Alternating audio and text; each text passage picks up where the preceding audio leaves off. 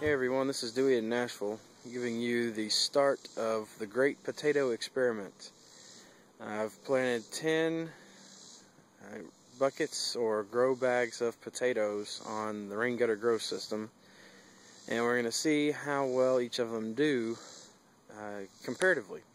I've got five five gallon buckets, and I've got five grow bags, uh, Walmart shopping bag grow bags. Uh, each of the potatoes is planted the same height to start off. They're going to be given the same treatment as far as scooping uh, soil and you know hilling them up, so to speak, inside the bags or buckets over the next uh, month as they grow. And so at the end of their life cycle, we'll I'll dig them up and we can see exactly how many are in the buckets and how many are in the grow bags. We'll see which one works so that next year, next spring, I'll know how many to plant and which type of planter works the best. So I'll give you a quick shot of what's going on. They're planted about that deep in the buckets and they're planted about the same. Uh, let me get it to focus inside the dark. Planted about that deep again inside the bags. Uh, the soil all came from the same mixture in uh, as far as peat, vermiculite, compost, what have you. It's all the same mixture, uh, all the same batch.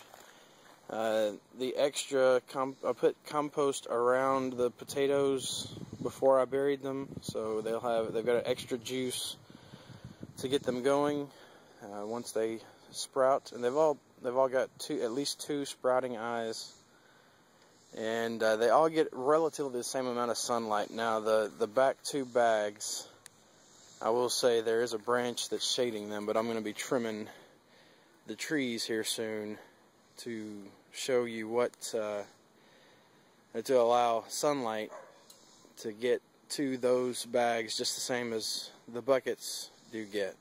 So they all have the same exposure to the sun, um, or they will once I trim that tree, and they all have the same soil, they all have the same planting type, and so the only difference between them is the container type they're growing in. So we'll see if these grow bags do work, and if so, what type of results, or we'll see if the buckets work better.